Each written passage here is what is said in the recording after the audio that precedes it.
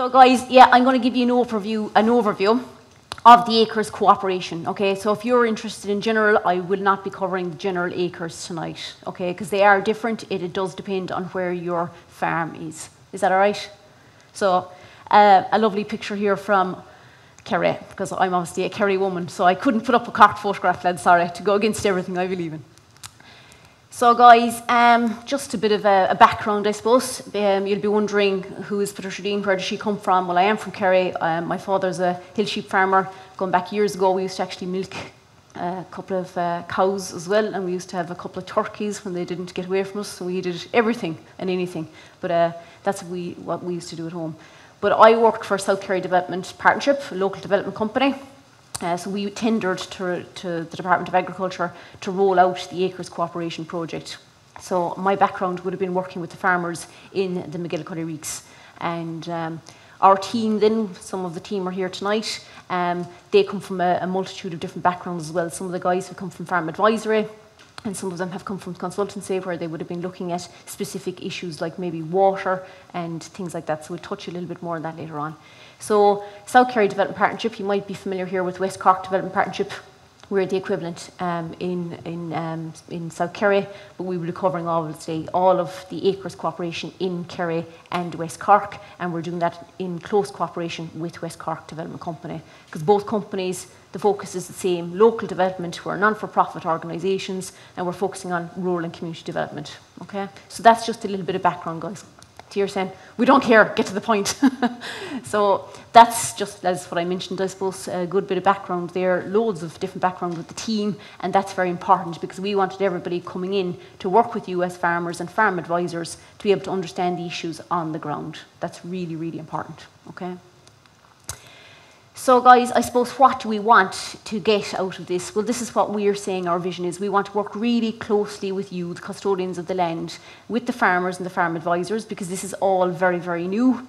It's a new approach, um, but we want to, to work with you to improve the environmental and agricultural condition of the land in a sustainable manner. Okay? So some people have said to me, you don't want farmers farming anymore. That is not true. We need to support farmers to continue farming. The land needs to be managed. Okay? So that's very important. We don't want anybody thinking we want to stop at your farming. That's not the case. Okay.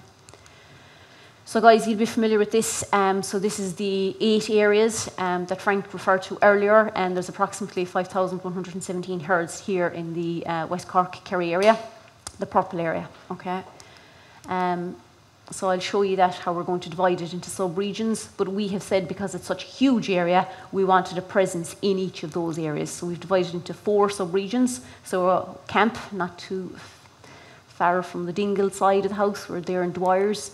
Uh, we're in Beaufort Village. Um, so that's close to the, a lot of the sheep farmers there in the McGillicuddy Reeks. Um, we're also going to be in Kenmare to cover a lot of the farmers down around the uh, Iveragh Peninsula and obviously the Beara Peninsulas. And then obviously we have an office here as well in Bantry uh, with West Cork Development Partnership. Okay, so there's going to be a number of agri-environmental officers working in each of those offices, and that's to work with the farm advisors because again this is new to a lot of the farm advisors and to work with the farmers okay so there's going to be a lot of kind of cooperation and a lot of support needed to make this work so uh, I'll talk a little bit more about that and I suppose what the advisors will be doing and what the the um, the agri-environmental officers will be doing. Okay, is that fair enough? You're all with me? No one's got off to sleep yet. That's good.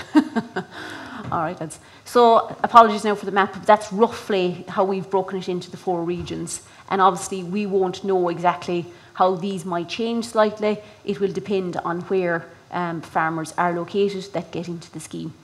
And as I mentioned already, that is being decided by the Department of Agriculture. We don't have a say in who gets into the scheme or doesn't get into the scheme. That's been done at the Department of Agriculture level. Okay. So, guys, I suppose I've said there in the in the booklet uh, that we have four objectives or four targets for the scheme, and I added a fifth one actually to the presentation when I had a little think about it. Uh, so what do we hope to get out of this? Well, we do want to work to protect watercourses, and I don't think there's anyone would object to that because our watercourses are really, really getting into poor condition, and that's something that we can control by carrying out relatively simple measures on the farms. And it's not all farms, guys. I'm not here to, to bash any farmers, okay? There's a lot of things that impact on water quality. Farming is one of them, and it's things that we can do to, to prevent that from happening, to get things into better condition. So that's one of our objectives. We're also going to, hear a bit about this, carbon storage. Carbon storage is really important. We look at peatland areas. Peatland areas, if they're in good condition, store a lot of carbon. So you talk about keeping the carbon in the ground as much as possible. We all hear about carbon dioxide getting into the atmosphere. We don't want that. Nobody wants that. It adds to climate change. We definitely don't want that. Um, so we're just trying to protect those, those landscapes. Um, and we have to try and protect the rare and the, the, the threatened habitats. So what are habitats, guys? You hear about these results-based payments and these habitat payments. A habitat basically is a piece of land where something lives. Does that make sense? Yeah. So that's the, easiest way to describe a habitat. So if the land is in good condition, everything then that's on the land should follow suit that that would be in good condition as well. Okay. So protecting the conservation of rare and threatened species. So when we talk about rare and threatened species, we could be talking about the grouse, we could be talking about the curlew, we could be talking about the freshwater pearl mussel, we could be talking about any of those things. Okay, so there's really startling um, statistics out there at the moment about the decline, we'll say, of farmyard birds. I think they've declined by something like 60%. You know, so this is happening. Again, guys, it's small things that would make a big difference to how we're doing things, and that's what we're going to be here to try and help you do on your farms, okay? Um, the management of invasive species, this is one very close to my own heart because I spent the last five years trying to knock out rhododendron in and around the McGillicuddy Reeks area. And again, lads, there's a lot of invasive species and they are taking over. And like, once they get in, it's really, really hard to try and knock them back okay? So we're going to try and manage them where possible and training. So as I've mentioned, guys, it won't be just training with yourselves, the farmers. We'll also be doing a lot of training with the farm advisors because this whole idea of acres, results-based assessments, it's all very new. Is that fair enough? Yeah? So there is good news, lads. I suppose anything you do, you'll get support to do as well. You won't have to pay for it out of your own back pocket. So if you come to training, if you need training, that will be paid for, okay? And we think that is very important because we feel very strongly that, yes, you're giving your time, you should get paid for it. Yeah? Okay. So, guys, the main elements, so I suppose the way this has been structured across the country, not just in the, the, the West Cork Kerry area, there's three main components, okay? There's a results based payment, right? So, this is the core payment for every participant, and it all depends on the quality, what the land is like, okay? So, what is the quality of the land? So, there's going to be different scorecards depending on what kind of land you have. Okay. So, if you've got a grassy field, it'll be a grassland scorecard that'll be used. If it's a peatland site, a lot of the commonages would be peat. It would be peatland scorecards that would be used. Obviously, then, for example, woodlands and scrub would be different. There would be a scorecard, we'll say, for the chough, and there's coastal grasslands. Coastal grasslands are completely different to other grasslands. Okay, so there's scorecards being devised, and again, training would be given to the farm advisors on how to use these scorecards. And I'm telling you guys, they're very straightforward, very um, easy to use, and a lot of the farmers that would have been involved in previous schemes, like the Hen Harrier scheme, for example, or the freshwater pearl mussel scheme, the, a lot of the farmers would have used the, the cards themselves and would know how they work. Okay, but they're devised to be very fair um, to you, the farmer. Okay, so that's a big part of, of the scheme. Um, some farmers, depending then if they have a small area, of land, they might have had to take on some general actions. Okay, but I goes, what the reason behind these is, it's trying to incentivise improvement. Okay, and I'll show you what I mean by that in a minute. But we're, we're trying to reward farmers and incentivise farmers. So if you've got land and it's in really good condition, you'll get the top payment. Maybe if there's small little tweaks that need to be made, we need to incentivise you to make it, make it better then you will get a higher payment. Okay, so that's the idea behind them, results based. Um, so it's all to improve the ecological and the environmental condition of the land. Okay, so this is where the farm advisor will be coming out to you. Okay, so um, if you get selected, you'll be getting a letter from the Department of Agriculture. They will tell you if you have been successful coming into the scheme. Um, and then you will, your farm advisor will be out here during the course of the summer. Okay, so assessments will probably start, we think, in June. They'll go on June, July, August, possibly into September, I'm not too sure yet, where the farm advisor will walk over every single one of your, your fields and they will do an assessment based on the kind of land you have. Does that make sense? Yeah. Okay. And if you've got commonage land, our team, the cooperation team, will be doing the assessments on the commonages. Okay. So we're looking forward to that. All right. So that's the way it works, guys. It gets a score. So think of a 1 to 10. Okay, so the higher the score, the higher the payment. The maximum you can get on the results based is 7,000. Nobody can get more than 7,000 on the results based, unless your land is in perfect condition. If your land is in perfect condition, happy days, you'll get a bonus. Does that make sense? Okay. Um, and I talked about the scorecards already. So obviously, guys, the scorecards are very different for a reason. It's because the land is different. Okay, so you could have two no neighbouring farms, but they could be completely different. They might look similar, but you know, you could have chough on one. There might not be chough next door. All right. So, guys, I'm not sure now how well you can make that out. Uh, but it's, I think it's in the presentation anyway. I'm not sure actually if it is, but or in the booklet. But basically here, if you get a score of four, you'll get 150 euro per hectare. Okay. If you move up to six, you'll get 205 a hectare. If you move up to eight, you'll get 300. And if you get a score of 10, you're getting 400 euro a hectare. Okay. So the idea is, the higher the score, the higher the payment. And then trying to make you get a higher score or to help you get a higher score, you can take on certain actions. Does that make sense? Okay. So I have here down the bottom as well, guys, there's a reduced scale for farmers that are going to be in the organic farm scheme, okay?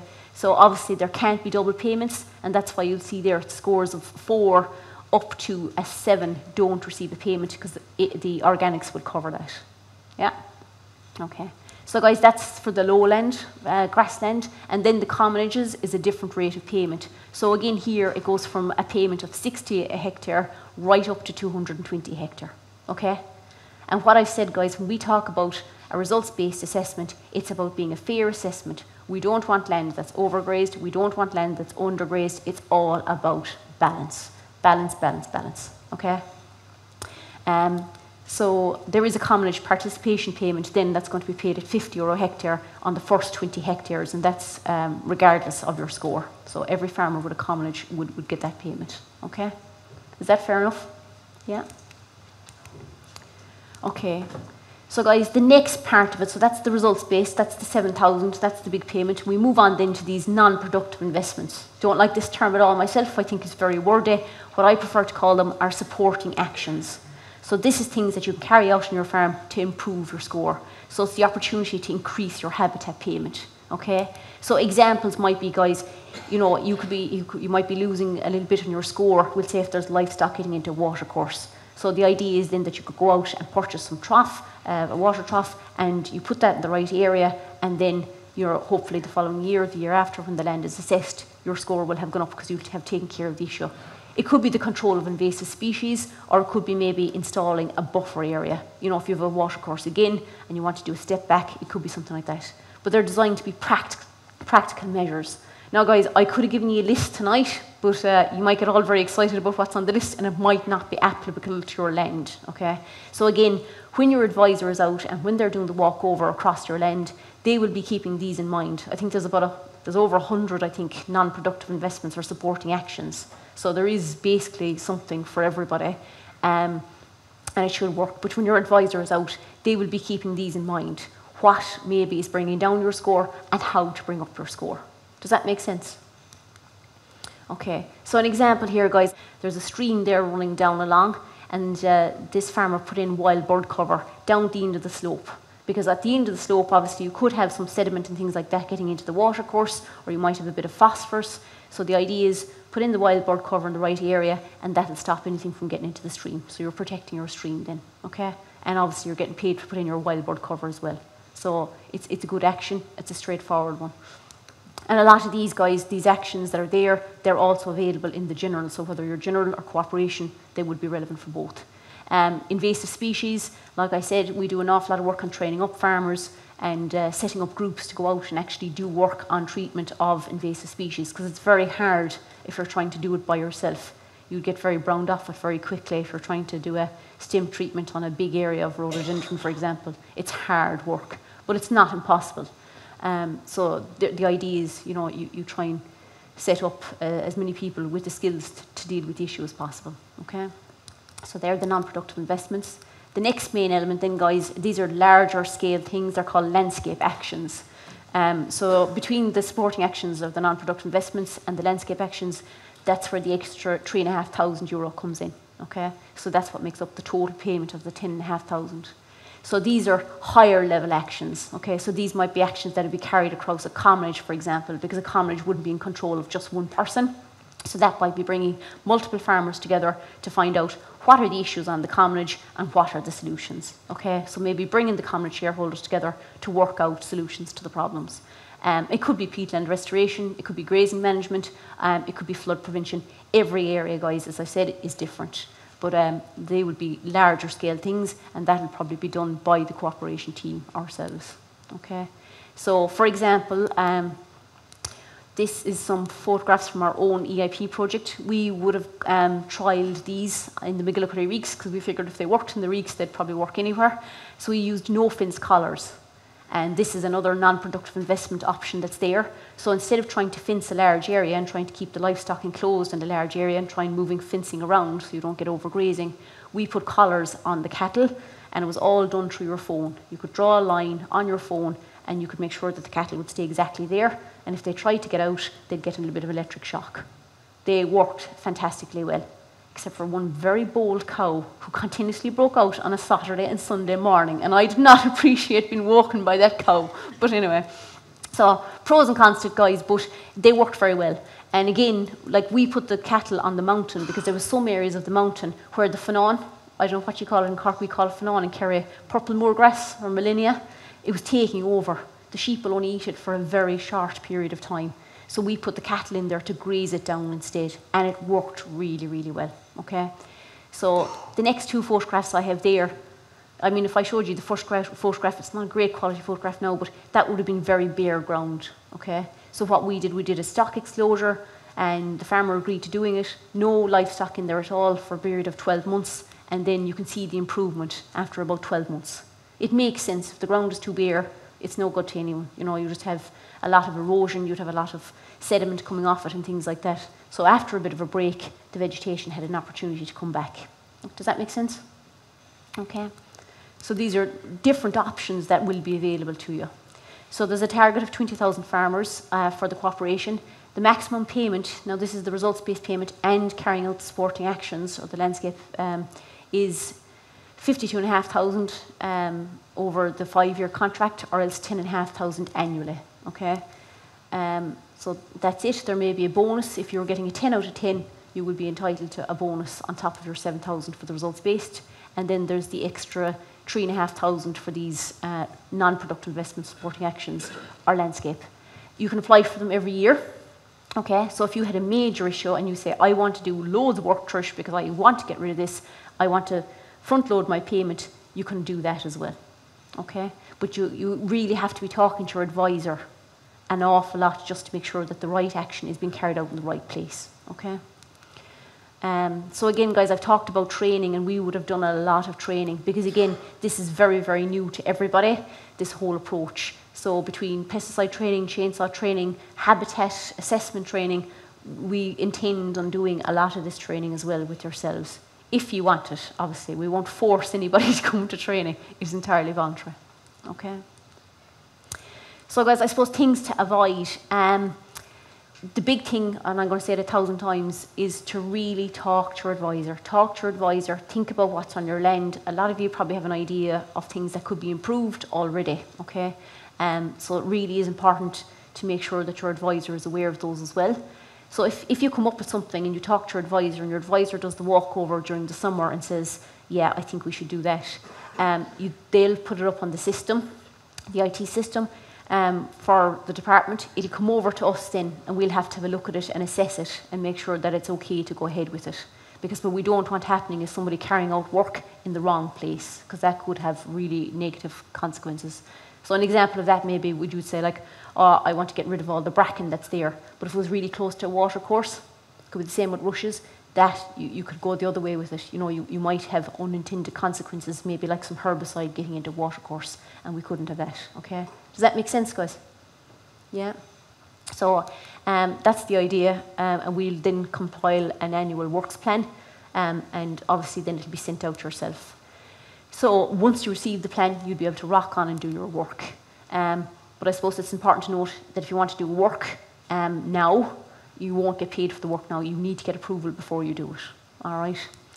Um, so, and obviously, guys, everything we do um, and everything that the, yourselves, the participants, when you come into the scheme, will all be subject to inspection from the department. Okay. So um, that's it. It was an overview. It was a quick overview, but if you have any questions, I take them. Thanks, Patricia. Um, so look, again, remember that uh, we take questions from the floor as well, and, and you can enter your questions in, inside as well. So, so put up your hands there if you have any questions, because look, I suppose there was a lot of interest in Cork West. You know, I suppose Teagasc we submitted nearly 500 plans uh, of acres, and it was a good chunk of them in the CP as well. So look, there was a, you know, it attracted a lot of interest in the area. So any questions on the floor? Yeah. Yeah. Um, what is the bonus who'd get it first? Had, were such a good farmer. Uh, what's the bonus? you will probably get up to the top rate of, of payment. You won't get the full 10,500. Um, so if you're getting a 10 out of 10, I think there's a little bit of money being held back just um, in case you need to do some training. But you would get nearly up to the full 10,500. Uh, when do you come out to do the um, uh, assessment? When are you coming out to, to visit the commonages? We'll be out in the commonages, we hope, from June onwards. Yeah. And uh, uh, I know you, we all know you have great foot, footballers, but I never knew you had such good finan because down here in West Cork, the bloody finan, if we put the cattle onto to the way they'd come back half dead, if we kept them out too long eating white finan here, so you must have a rare breed out above. so could you give a bit of um, uh, thing what he what he done? Did they come back with extra weight, or had they when we put them out they'd lose weight? So just comment on that. Yeah, you raised a very valid point there. The timing of putting the cattle out onto the commonage is critical. The Fanon will only be really in good condition from probably the middle of June onwards, and then you wouldn't want them there any later than August. So the timing, that's what we found in the McGillicuddy Reeks. It had to be there and it had to be in full growth. Um, otherwise, the, the good goes out of it. And the other thing to note then as well is we use native breeds on the common commonages. So we use the Dexters, uh, the Drummond or the Drumain, the Kerrys, and I don't know if that make a difference or not. I'm not a researcher, I haven't researched myself, but we found that those breeds, I swear to God, lads, the farmers that own those cattle, they were like, what did you do to them? They were huge coming off the mountain. So look, we'll, we'll have a walk around and we won't be long telling you. yeah. It could be the breed, lads. I, I genuinely don't know. Um, some of the some of our participants on the EIP, on the McGillicuddy Reeks um, EIP, they tried their own cattle, and uh, I remember going up through the um, Gap of Dunloe one day and I saw four very sad, very, very sad cattle. They were stood beside the road and they were like, what did we do to deserve these? they were too good for it. They were too good to the good, they were too used to the good stuff. Okay. So after a while, they did kind of wander around, but it took a while for them to, to get used to the new accommodation.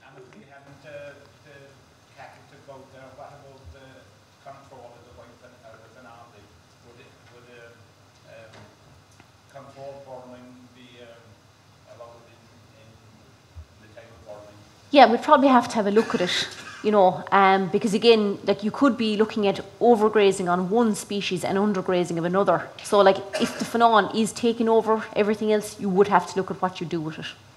Okay, we, will take another question on here before we go to, this, to, to Michael. So we've one down here.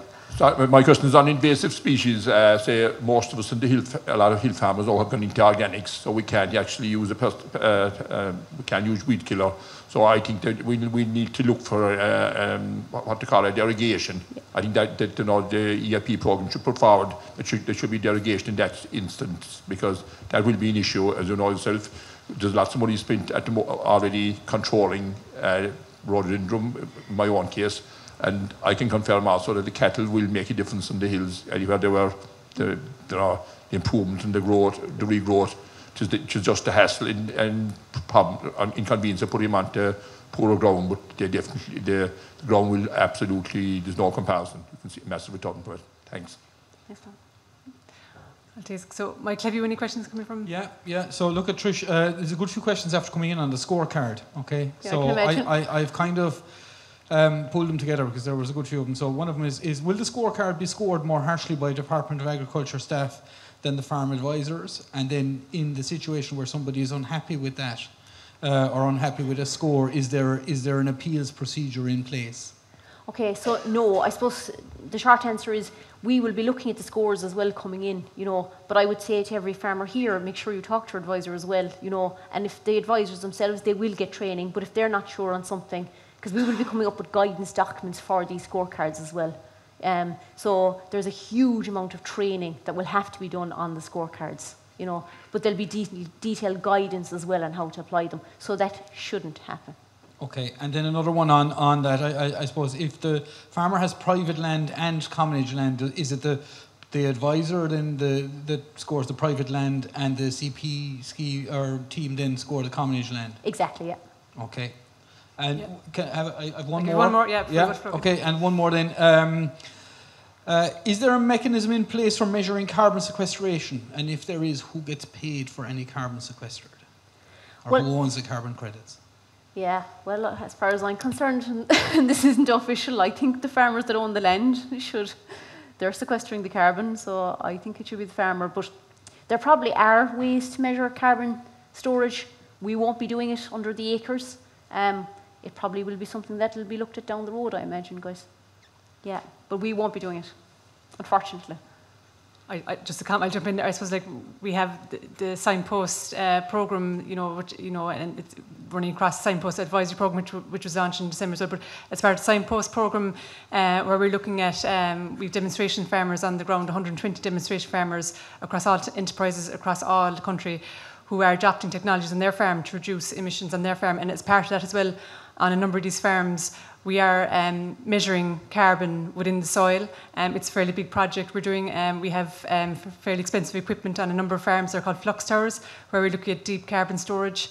And these farms, we will monitor these farms over a period of four, five years so we can see really how farmers are adopting technologies and how that's um, uh, increasing, I suppose, carbon in the soil. So there, there's a, we are doing a lot of work in that within Teagasc and that, like, you know. Um, and again, we, there's, again, there's work, a lot of work being done in our Johnstown Research Centre, which is the main hub, I suppose, in terms of carbon work as well. But like I say, it's been done across all our farms, across the, the industry. So, you know, it'll be, again, we'll see more information coming out of that from, from our farms in, in the future. Um, th- I think there's one more question down the back there, and Yeah. then we might wrap it up. Um, On a Natura area and a cooperation area, what's the difference between both of them in terms of the land type? Um, I know there's 7,000 for a Natura area and it's 10,000 for a cooperation area. Why aren't both of them qualifying for the same amount of land? Or the same amount of money when the um, Natura area is in a very sensitive um, environmental area? It would be in the Lee Valley. I don't think it's, it's uh, qualifying for the 10,000 euro payment. Could you answer that, please? I'm afraid you'd have to ask that question to the Department of Agriculture. We did not select the areas, we did not draw the boundaries for the areas for what was going to be in the general or what was going to be in the cooperation. The Department of Agriculture gave us the outline of the areas for the cooperation, so unfortunately I can't answer that question. As far as I'm aware, what I was told is it was based on uh, high status water bodies. Uh, they were looking at SACs, so special areas of conservation, and they were looking at uh, other things like uh, SPAs, special protection areas, so along a lot of the coastal areas. Um, they were some of the areas that they, this, when they selected the cooperation areas, they were the, the, the reasons they selected them. But if you wanted more information, you would have to ask the department. Um, this was in the Lee Valley area, like, and it would be it would be touching in the high water quality status, like it's in the River Lee, and it should be entitled to um, the higher payment. And the farmer in question, he told me that he must keep his stock off of the land for five months of the winter. So that's a huge drawback for him, like. Okay. And it's all because of the wildlife that's down there and the type of ground that it is. Okay. And uh, he would need a top up, all right. Yeah. I would think he would anyway. Thank you. Thank you. So, um, thank, thanks, Patricia, um, for the discussion. So, again, if there's any more questions again for the night, Patricia, you'll be here towards the end of the conference again. So, thank you, Patricia, for going to it.